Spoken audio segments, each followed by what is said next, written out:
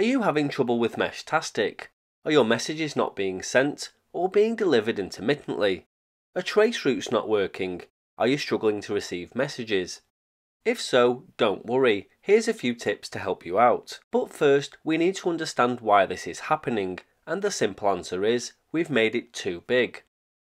Meshtastic is congested, especially here in the northwest and down in London and the surrounding counties. Congestion is what causes these common issues.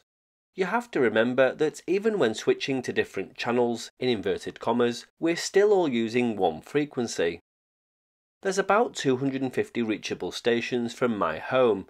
Imagine 250 people all trying to talk on the same radio frequency using their voice at the same time. You'd have trouble hearing a clear transmission from anyone, and this is basically what's happening, and there is a few things we can do about this. So the first point goes against what I said in my original Meshtastic video about pings or beacons, but 650,000 views and about 250 nodes later, the level of activity has changed. A ping or beacon is a data packet that's sent out to announce your node's presence. The most recent pings appear at the top of your node list.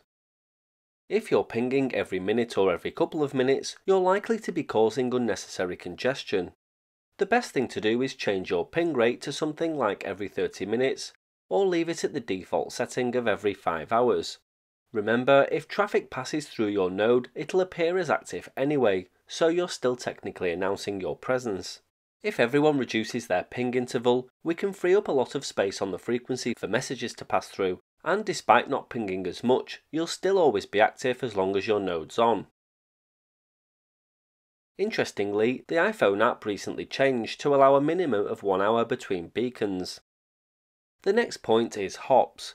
When you send a message or beacon, you're working through nodes to reach a destination. If you have your hops set to the max number of 7, you're potentially hopping through 7, causing those 7 nodes to create traffic on the frequency. And if you're in an area that's busy and full of lots of nodes, you're going to tie up the frequency. This is because every node you work through replies with a packet of data, here in the northwest we have a hell of a lot of stations on, so 3 or at a push a maximum of 4 is more than enough hops. Your node will still find the most effective route to pass traffic through and you won't see any detrimental effect to your reach. I have mine set to 3 and I'm hitting nodes almost 70 kilometers away from home. This is because your node will automatically look for another node with a really low RSSI and try to work through that first.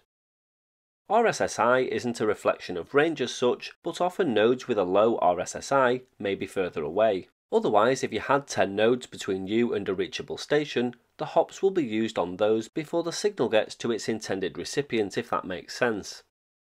Next is trace route.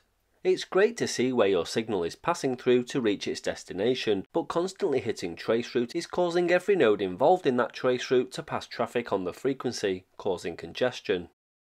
It's a good idea to keep the traceroute function for special circumstances, like a long-range contact you've noticed.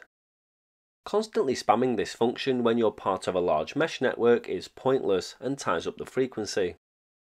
Of course, the whole idea of Meshtastic is to send messages and make contacts, but I see people spamming the long fast channel with the same repeated message every minute.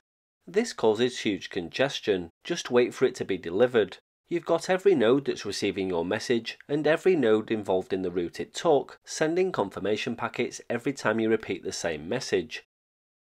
If you look at your node, you'll see a value known as chutil and a percentage. This is the total amount of channel utilization.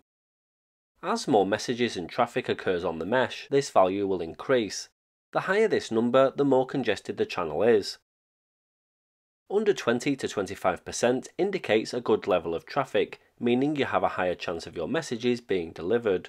Late 20s into 30 and above, and especially above 50%, is terrible. At these levels, you'll struggle to pass traffic properly. I deliberately sent a few messages one after the other, and did a couple of trace routes to prove the point of this video to you. When the value is in the early 20s or below, you know there's a good likelihood your message will deliver.